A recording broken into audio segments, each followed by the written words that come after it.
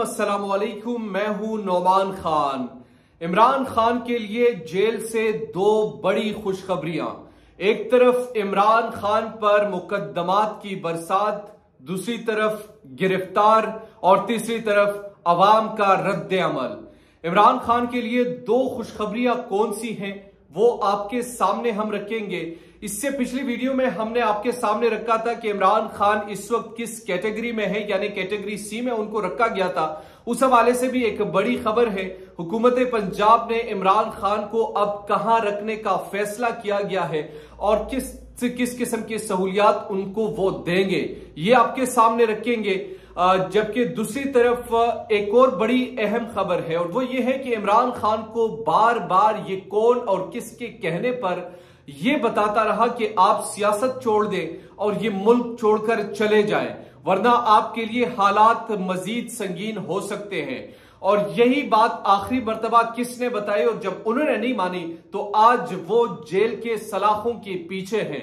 ये भी आपके सामने रखना ज़रूरी है कि ख्वाजा साद रफीक आज दुआएँ क्यों कर रहे थे? और ट्रेन का जो हादसा है, इसके पीछे ख्वाजा साद रफीक क्यों इंतहाई परेशान नज़र आए? वो आपके सामने हम रखेंगे। लेकिन नाजरीन इकराम, इससे पहले हमने आपको इमरान खान ने पहली जो रात थी, वो जेल में कैसे गुजारी, वो आपके सामने रखी थी, फिर उसके बाद नाश्ते में उनको क्या दिया गया? दोपहर के खाने में उनको क्या दिया गया, वो भी पिछले वीडियो में मैंने आपको डिटेल से बताई। और फिर हमने ये भी पॉइंट रेज किया था, चूँकि ये एक फॉर्मर प्राइम मिनिस्टर है, और जो भी कोई प्राइम मिनिस्टर के अहदे पर रहा हो, जो भी शख्स सरकारी मुलाजिम हो या मिनिस्टर हो, उनको कैटेगरी ए में रखा जाता है। लेकिन इमरान खान को मजीद तकलीफ़ देने के लिए कैटेगरी सी में रखा गया था और जानबूझकर अटक जेल में पहुँचा दिया गया। हालाँकि तैयारियाँ अडियाला जेल की हो रही थी, जहाँ पर ए और बी कैटेगरी की सहूलियात मौजूद हैं।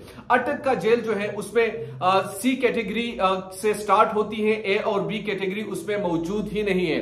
तो पहली खुशखबरी पहली खुशखबरी इमरान खान के लिए यह है कि चूँकि कैटेगरी सी में उनको रखा गया था, महकमा पंजाब ने जो दाखिला है यानी इंटीरियर मिनिस्ट्री ऑफ़ पंजाब की जो है, उन्होंने ये इजाज़त दे दी है कि इमरान खान को कैटेगरी बी में रखा जाए।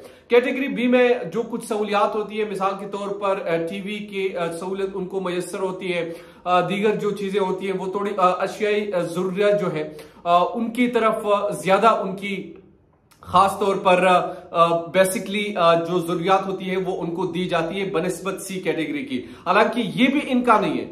जो प्राइम मिनिस्टर या मिनिस्टर्स को या सरकारी मुलाजमीन को जिस तरीके से ट्रीट किया जाता है जेल में, वो कैटेगरी ए के मुजरिम के तौर पर ट्रीट किया जाता है। लेकिन इनको अब भी बींग फॉर्मर प्राइम मिनिस्टर उनको कैटेगरी बी में रखा गया है। दूसरी खुशखबरी पर जाने से कबल नाजरीन ग्राम ये बड़ा इंपॉर्टेंट है कि मैं आपको बताऊँ कि इमरान खान को आखिर क्यों, किस वजह से और किसने ये कहा कि आप बार बार ये कहा कि आप मुल्क छोड़कर चले जाए, ये वतन छोड़ दें, ये सियासत छोड़ दें। और अभी कुछ दिन पहले, कुछ दिन पहले, ये आपको तो पता है कि अमेरिका बार बार ये कोशिश कर रहा है कि मौजूदा सूरत हाल में से इमरान खान को पॉलिटिक्स से असाइड किया जाए।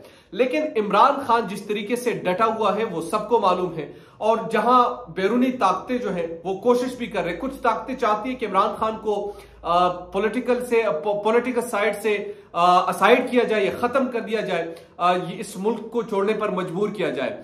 अच्छा अब रिसेंट जो स्टेटमेंट है उन्होंने जो इंटरव्यू दिया वो इंटरव्यू में आपको बता रहा हूँ कि आप बार बार उसे देखें। उसमें एक चीज़ जो स्टेफन सेकर है, बीबीसी को इमरान खान ने जो इंटरव्यू दिया इंटरव्यू दिया अपनी गिरफ्तारी से, दो दिन कबल या एक दिन कबल।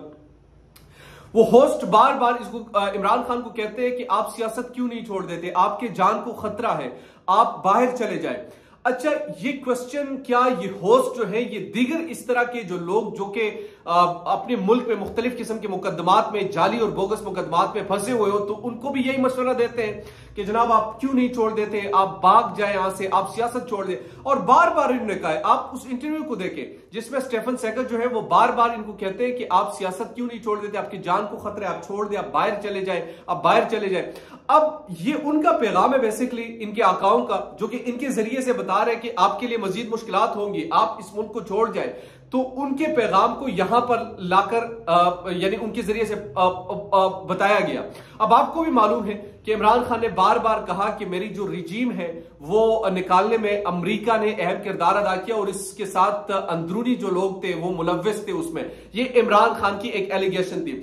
अब जो स्टेफन सेकर ने बार बार कहा ये किसी इंटरव्यू में आप नहीं देखेंगे कि होस्ट गेस्ट को इस बात पर यानी राज़ी करने की कोशिश कर रहा हूँ कि आप इस मुल्क को छोड़ दें, आपके साथ अच्छा नहीं हो रहा, आपको मुख्तलिफ़ किस्म की परेशानियों का सामना करना पड़ रहा है तो ये चीज़ है।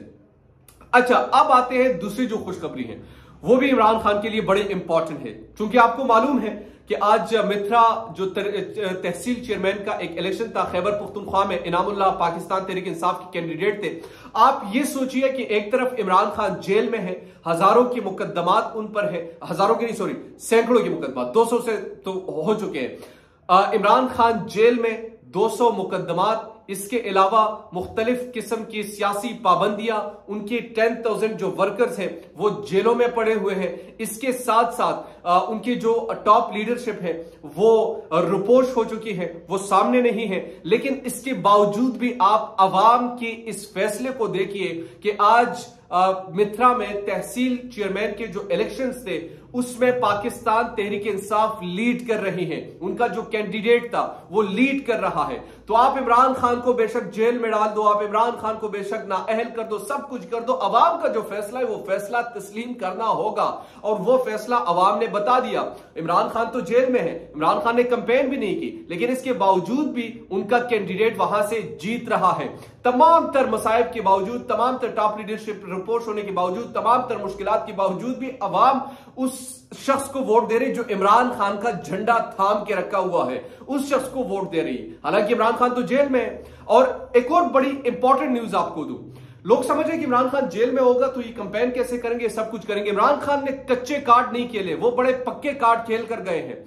आपने देखा इमरान खान जेल में था, लेकिन रात को 12 बजे एक वीडियो आती है कंपेयर के लिए कि इनामुल्ला साहब का कल इलेक्शन हो रहे हैं तो आप सबने जाकर वोट देने।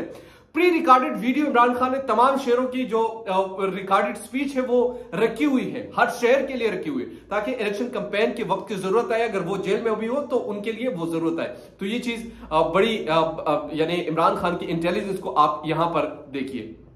अब आखिरी चीज़ जो है, वो भी अहमियत के हामिल है और बड़ी अफसोसनाक भी है। आज जो एक ट्रेन का हादसा पेश आया, जिसमें तकरीबन तीस अफराद अब तक जान बहक हो चुके हैं।